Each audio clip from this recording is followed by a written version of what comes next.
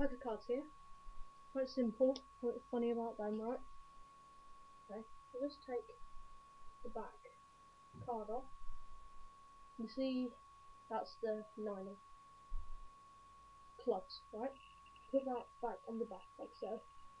And take it off again. And put it around in the middle, right? So just like that. And it's jumped